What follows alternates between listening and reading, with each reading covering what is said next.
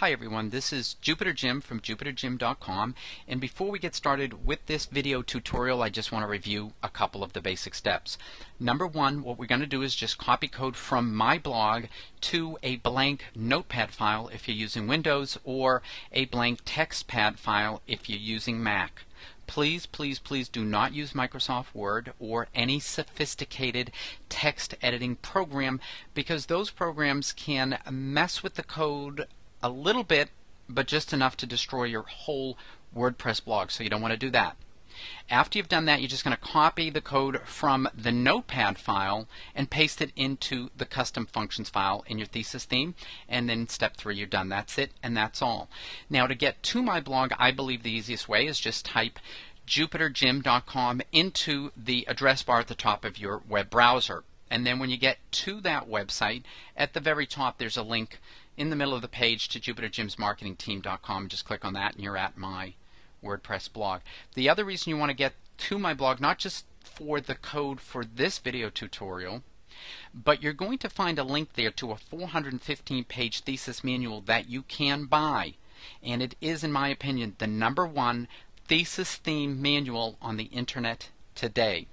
Now, the first bullet point there, you can see the demonstration blog I'm using for this video uses WordPress version 3.1.1 and the thesis theme version 1.8.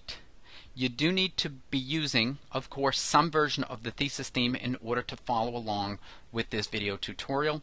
Okay, let's get started. And we are now at my demonstration blog, Jim's MaxGXL marketing team. I'm just going to scroll up and down real quickly so you can see it's just an average ordinary WordPress blog using the thesis theme version 1.8. And by default, thesis theme puts the navigation menu across the top above the header section. So you can see it's got the nav menu's got submenus and sub submenus and all that stuff. No big deal. I'm going to move it so it's below the header section. I'm going to show you how to cut and paste some code to do that. So first thing I'm going to do is just open up. This is a, if you look up here, you'll just see that it's a notepad file. And we've got some code here. Once again, to get to the code, the easiest way I think is just go to jupiterjim.com, type that into your address bar in the browser. At the top of the website, jupiterjim.com, there is a link to my blog, jupiterjimsmarketingteam.com. Once you're there, look for this post. In that post, you're going to find this code. Once you find the code, you're going to copy it and you're going to then paste it into a notepad file in Windows, a textpad file in Mac, and even though we're not going to modify the code, the reason I want you to paste it into Notepad is so you can just take one last look at it before you paste it into that custom functions file because it you just get a bigger look at it and you can just make sure that you haven't left off any code at the end like this or any semicolon or any little tiny little thing could spell disaster for your blog. So you want to copy it onto Notepad, TextPad, take a look at it one last time. Even if you're not a programmer, you might be able to catch something that just looks like it's unbalanced or out of line. Highlight it, Control C, press the Control key plus the C key to copy on Windows, Command C on a Mac. I'm going to click on the white space to deselect. I'm going to minimize the screen. We're back at the blog. I'm going to click on this tab in the browser to get to the dashboard of Jim's MaxGXL marketing team where I've already logged in. We're going to scroll down to where it says Thesis. Click on that. Go down to where it says Custom File Editor and then you'll see it says custom.css. You're going to click here to get the drop down menu. You're going to go to customfunctions.php. You're going to click on edit selected file. And then this little warning is going to show up. It's kind of got a gold tan background, whatever you want to call it. Read it and heed it. It's a very important warning, ladies and gentlemen. What it's saying is you must back up this custom functions.php file.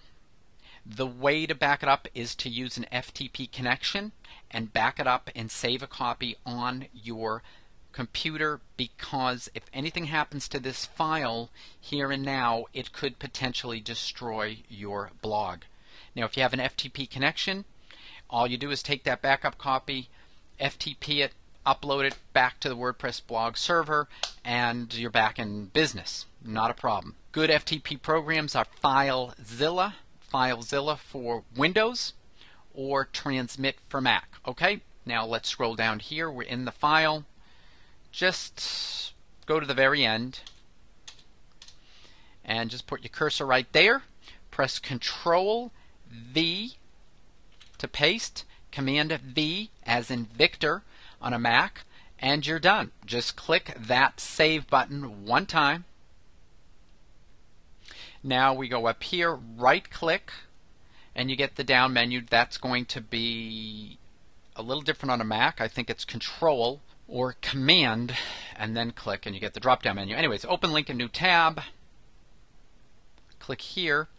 Now, the menu has not dropped down, so what I'm going to do is just pause this video and wait a while. And I'm glad this happened once again, because if it's happening to me on my blog, it's probably going to happen to you. So all it does sometimes is just takes time. And another thing you can do um,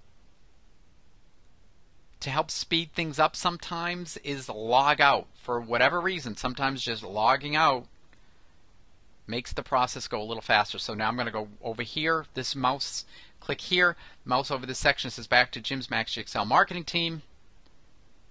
Bing to bang to the boom, and you can see now it does work. So we're done. That's easy. If there's a like button under the video, please click it. Please leave your comments. They keep me motivated. And please subscribe to my blog at jupiterjimsmarketingteam.com so that you can get the latest and greatest updates on all the videos I'm creating for Windows and the thesis theme. And you'll also get a link, like I said, to that 415 page thesis theme manual that you may be interested in buying. Take care and have a great day.